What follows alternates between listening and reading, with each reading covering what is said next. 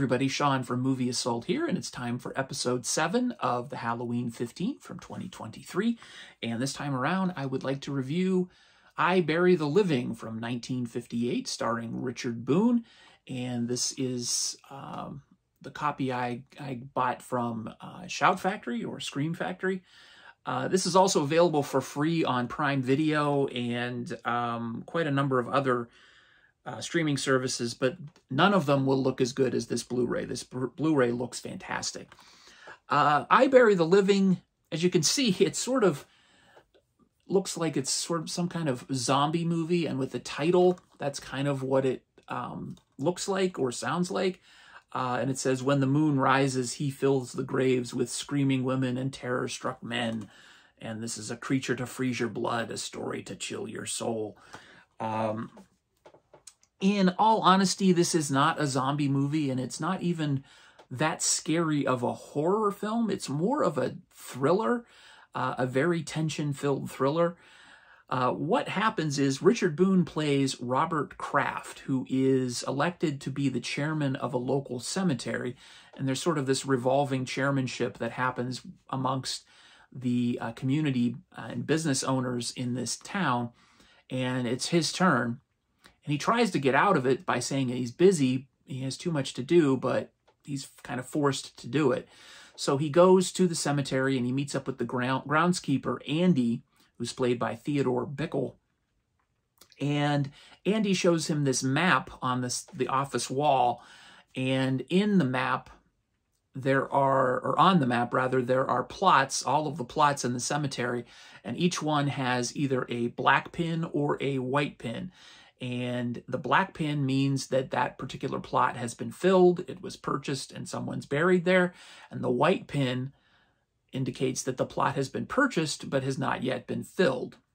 So on his first day at the job, he is Robert Kraft is approached by a local couple who was just married and they want to purchase two plots on the cemetery. So Kraft goes into the office and marks the plots as purchased but instead of putting white pins in, he puts black pins in. And very shortly afterwards, he receives news that the couple has died. And so that kind of shakes him a little bit because he realizes his mistake and he wonders if he's caused the death of this newlywed couple. So he decides he'll swap out a pin on the map from white to black and see if anything happens. And of course, if nothing happens, he, his conscience is clear and there's nothing to worry about. Well, it turns out that that person passes away as well. And then he he brings this to the attention of the police. He brings this to the attention of his family, his friends, and they all think that he's crazy. It's just a coincidence. Well, uh, they sort of order him to change some of the pins on the map just to show him that this is just a coincidence and you can guess what happens. And I'll leave it at that. But this is kind of an interesting kind, kind of a character study of Robert Kraft into how this affects him and it kind of ratchets up the tension because he slowly starts to become more depressed and disturbed by the fact that he may be responsible for the deaths of these people. Um, and, you know, despite all the assurances from his family, his friends, that he's not responsible, he feels an incredible amount of responsibility. And as more people end up dying, he feels more and more responsible, like he's got this strange power and he doesn't know what to do with it. What I really liked about this film is, aside from the name, which is awesome, I Bury the Living, um, is the performance by Richard Boone as Robert Kraft. The, the script really helps him out because it shows him reacting to the news that he may be responsible for these deaths in a believable way. He doesn't try to keep it to himself. He tries to immediately let people know that he thinks this is happening and their reactions are equally as believable. Oh, it's just a laughable coincidence. They're not really laughable, but you know, it's not really happening. You know, he's he's not responsible for these deaths.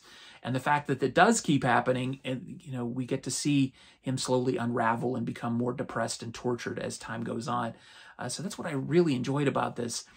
Uh, also, it was directed by Albert Band, and the cinematography was done by Frederick Gately. And Gately did a lot of work in TV, so this sort of looks like an extended episode of The Twilight Zone. It kind of feels that way too.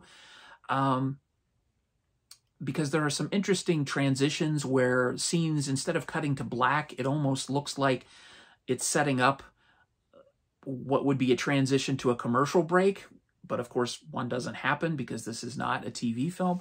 Uh, it's just very interesting. It, it's not a knock on it. I just found it kind of interesting in the setup of the movie and the way it was shot.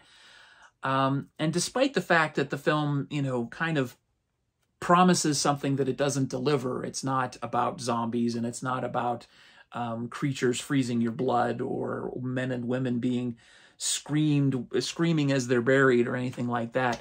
It's still an effective and very interesting um, study of a man driven to madness by what he thinks is happening.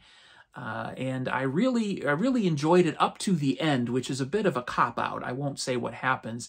Had this had a more effective ending or a more unusual ending, I guess I would have enjoyed it more. But as it is, I Bury the Living is a very good movie um, for what it is, which is just a B movie um, horror film, I guess. Uh, and I also have to make note of the music by Gerald Fried, which is uh, also very good. I've noted his name in quite a few things that I've reviewed lately, and uh, his work is very good. Um, so yeah, other than the cop-out ending, I highly recommend I Bury the Living, and I gave it a 6 out of 10. Thanks again for watching, everybody. Stay tuned for episode 8 of the Halloween 15, which will be coming up soon. Thanks again for watching. Take it easy.